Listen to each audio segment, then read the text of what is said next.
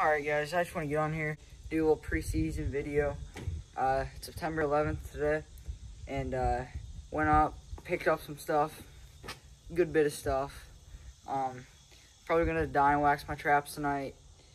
First I gotta go through, set them all up. Yeah, I'll take you guys through setting up a couple traps, dyeing some traps, just getting stuff ready. So yeah, got a big old box of stuff. So I'll go through and uh, show you guys what I got. So, got a bag of sheep's wool. I like using sheep's wool, uh, a little bit more scent and then stuff to put your bait into so it lasts a little bit longer. Next up, a little bit of red fox urine. And for, uh, for baits, I got cleats, apple road, predator bait. Um, there's that. And I got the classic Dunlap Soul Takers predator bait. Are, I just usually get baits that are good for both fox and coyote. And uh, I got a couple lures. Mark June's Predator Frenzy. And then Carman's Mega Musk. Okay. Then I got a few, uh, a few other things. Got some logwood trap dye. And I got a bunch of wax. Oh, just, you know, typical odorless wax. Um, probably a little bit too much, but five blocks of that. And then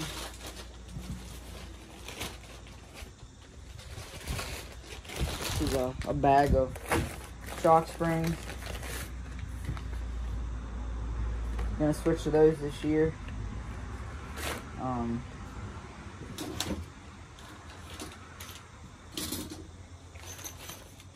got some more J hooks, J hook tool. Finally, finally broke down and bought, bought one of these.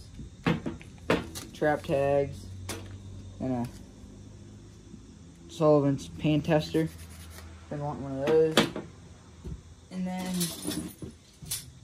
three new MB550s. Um, just kind of adding to the collection as I go.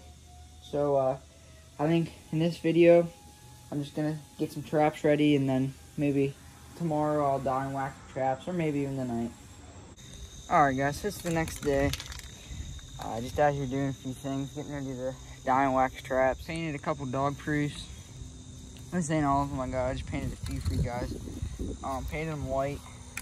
Just using normal, normal spray paint. And uh, what I found that does is, uh, you know, painting them a bright color like orange, white, it just gets their attention more. Easier for you to find. Um, it don't matter with tunes you just use normal spray paint. Uh, did it last year, worked great. So, yeah. Got a big bucket, bucket of traps. There's probably about, I don't know, 13, 14 in there. Got some 110s to do. Not all of them. I don't have that many. Um, but I got a couple. I just left them over at the farm. They're not set or anything. I just forgot to bring them home. Um, I got 14 footholds and then a few uh, 110s. So uh, I'm just gonna take a wire and put them in a group of like four or something and put them in there. Um, these new traps, I got them yesterday. I put some vinegar over them overnight and they got a good coat of rust. You need to get rust on there before you die. So that's it. Those two and then that one got a good coat of rust just by putting white vinegar on them a couple times. So. All right, so I definitely need a bigger pan or pot, but I think I got seven traps in here. As you can see, I wired them off so that way when they're done, I can just pull them out by that. So I just grouped, there's a group of four and three. So hopefully the water covers all of them. So yeah. All right guys, these traps are dyed and waxed.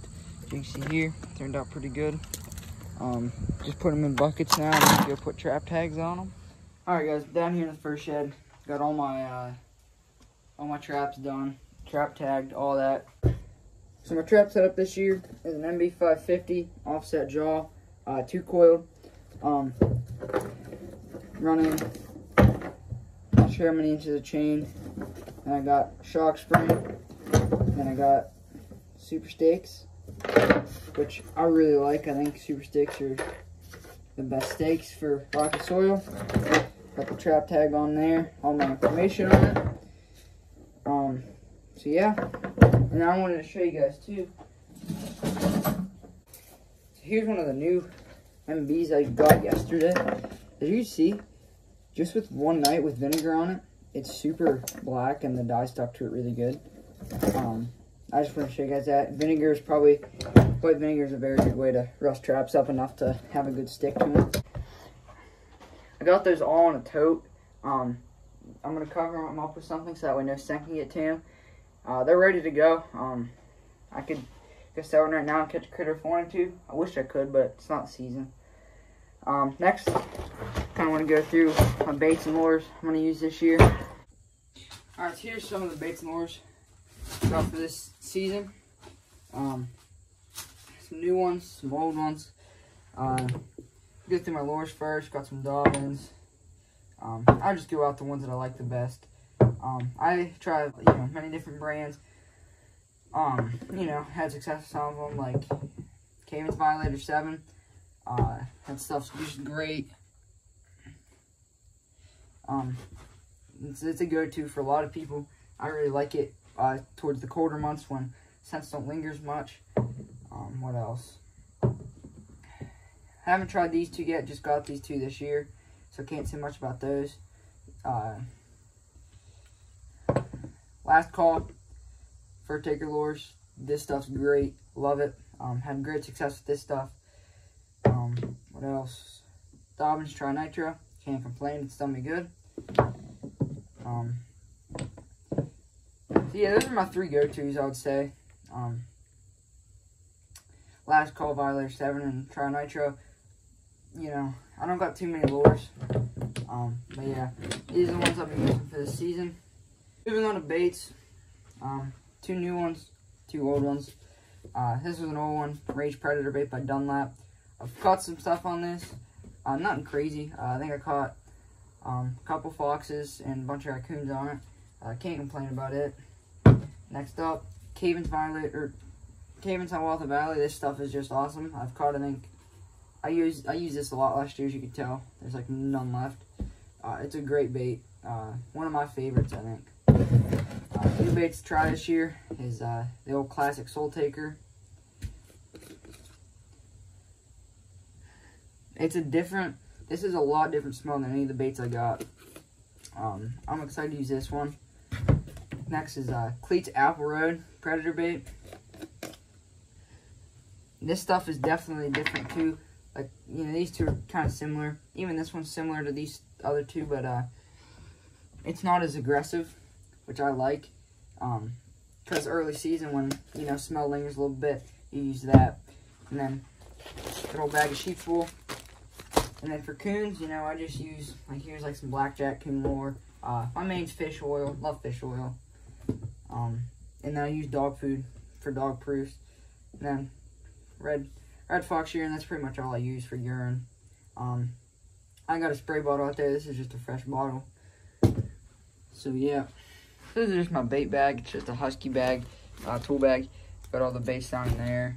Some lures, too. Sheet full, all that. Now, the plan is this year is to be trapping off of a quad. So, last year I trapped on foot, which was kind of a pain.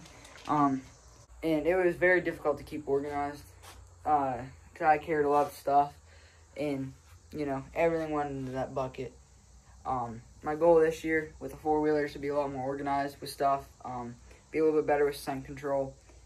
Because last year a lot of things got ruined because I wasn't organized, and uh, but I'm hoping this quad I'll be able to carry a bunch of dirt. You know, I think the quad's gonna make my life easier. First, first thing I gotta do before I can really ride this too much, I gotta put a new engine in it. So I'm gonna buy one here hopefully this week and uh, be a good quad, four-wheel drive, all that. Um, I'm not sure. Probably gonna make uh, like bins or like wooden boxes for the front and back. At least the probably the back. So that way I can have like a bin for my traps, a bin for, like I said, a bucket of dirt in, um, a bin for my trapping, my trapping bucket, and then the front, I'll just put, you know, that's where I'll put the dead animals. Um, really excited to have a quad this year. I'm just hoping that we can actually get it running good enough to trust. But uh, it has a winch on it too. I just got to get a new solenoid for the winch. Um, then that'll work. One more last thing I wanted to go over with you guys. Just my trapping bucket.